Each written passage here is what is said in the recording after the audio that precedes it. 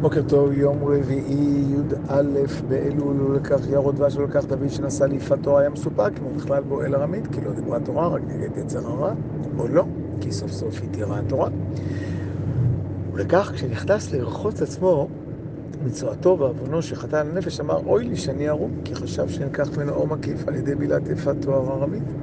כאשר ראה במילתו ולא נמשכה עולותו, הבחין כי לא בעל, בעל בת אלוהי נחר, ולכך אחשוורוש וכולם שהיה בצד נחש לעשית ישראל, ביקשו שתבוא ושתהיה ערומה. וכן רשעים נידונים בגיהנום ערומים בלי אור מקיף כלל. ולכל אלו ישראל שהיו בועלים ארמית ובניתנו ארמית נעשו כגוי. וכל שכן אלו שהשתחוו לנאבד כאמן, עברו מצוות קידוש השם בפרסיה שנידונים כגויים. וכך היו חס וחלילה רואים לכליון, רק אף חובבים שהגיעים בעד ישראל לכוננם. שאפילו על גויים הקדוש ברוך הוא חס. ולכך המן חשב לעורר חמה על ישראל, דחתו עבור פשעו, לכך התחיל באף, אבל נלקה באף.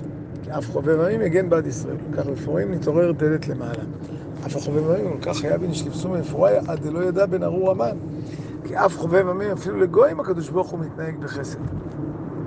וכך נאמר בשולחן ערוך, יש ליתן לאף לעני נוחי בצדקה, כי בפורים אף חובב, אף גויים בכלל החסד והחמלה. וואו. באמת הרשע אחשוורוש חשב גם כן מסעודתו לדמות לעליון, להיות אף חובב עמים, ולכך עשה משתה, לעשות כרצון איש ואיש, תהוא שווה לקוד, אבל נכזבה מחשבתו. מדרש אמרינן, אתה רוצה לעשות כרצון איש ואיש, אינו יכול לעשות. זה הולך לאנטוני, הוא מבקש רוח צפונית, וזה רוח דרומית. איך אפשר לעשות כרצון שניהם, וכתיב רצון הרב יעשה? ולהבין הפשט באמת, אם אי אפשר לעשות, איך נאמר רצון הרב יעשה? איך העניין כך? כי יש לדקדק מה שנאמר יעשה ולא עושה. וכך כוונת השם, לעשות כרצון כל יראיו. איך אפשר לעשות שני הפכים בנושא אחד? וכך הקדוש ברוך הוא ישנה הרצון, ונותן בלב הצדיקים שיסכימו כולם לשפה ורצון אחד, כדי שיוכל לעשות בהסכמת כל היראים. זהו רצון יראיו יעשה, שיעשו רצונו, והוא בעל כל הרצון והחפץ, כדי לעשות רצון כולם אי אפשר. אמנם מה שביקש בזה אחשוורוש, לעשות כרצון איש מבלי אונס, יש בזה שני טעמים. אחד הוא על פי מדיד כתוב בגמרא, רב אנטלי קומנה לבר ששח ביום אדום. השגחה, הוא מצא אותו דיאתי בת צווארי בוורדאי וקיימי זונות ערומות קמי, אמר לכו, אית לכו כאי גבנה לעלמא דעתי. יש לכם כזה דבר בעולם הבא, אמר לדידן עדיף עטפמה, לנו יש יותר. אתון איתה עלייך רואים את הדמלכותא, ענן לא אבל לנו את הדמלכותא.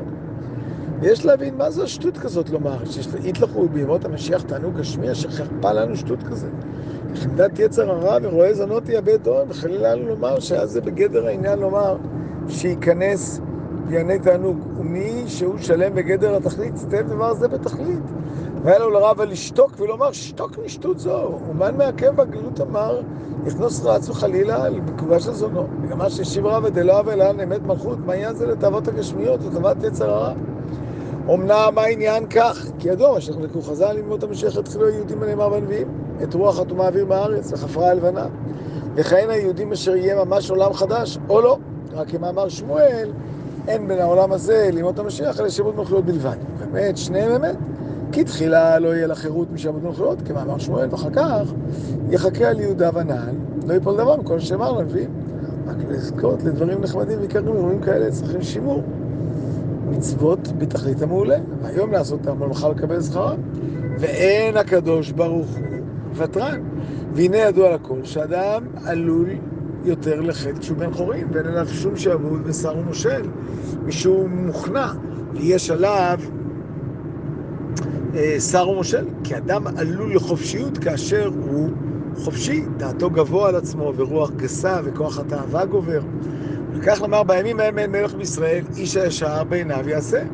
ולא תמצא מקום תזנות שכיח ביותר וביותר, רק במקום שהעיר והמחוז הוא חופשי ממלך, כאשר ידעו המחקרים, אבל לא בגלות.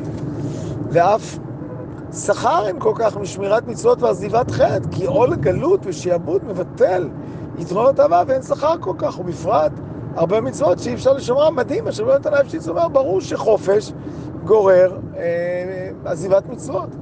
אמנם בביאת הגואל, אילו היה תכף ניבא רוח טומאה מהארץ, פשיטא שלא היה בהם כל כך שכר בעזיבת הרע, אם ליבם חלל ואין כוח יצר רע שולט בהם. אבל כשיהיה עדיין יצר רע קיים ויהיה חופשי משעבוד מלכויות, הרי כל כוונת לעשות רע הם מוכנים ועומדים. מכל מקום ישמרו הטוב ויעבדו השם כראוי ויעזבו הרע וההבל. זוהי תשובה אמיתית למה שחתום מקודם. כי אומרים איך ידעים בעל תשובה? כן, שבא להיות ולא חטא. ועל ידי זה יזכו ליהודים הנאמרים לבאר רוח חתומה והיה השם לאור עולם. שלום שלום.